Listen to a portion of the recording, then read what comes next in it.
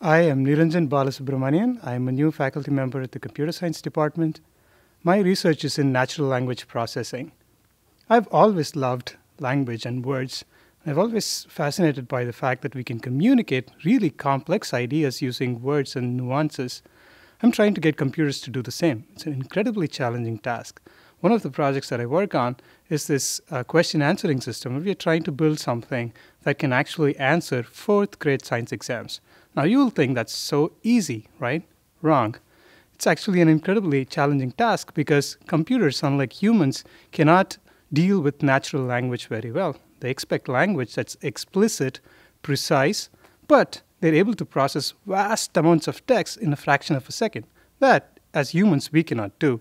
So, we are trying to take the best of both worlds, try to provide the computers with algorithms that they can better understand language with, but also use that ability to process large amounts of documents in a short span of time and gather vast amounts of knowledge that we can then use for some practical applications. One of the big reasons that I'm very excited about being in Stony Brook is because of this uh, biomedical informatics uh, department that's starting up. Here, we are looking at a project where we are trying to help pathologists do better diagnosis of cancer uh, cancer types by analyzing texts that people have written about cancer pathology. So the Westbrook DLS was an um, exciting affair for me.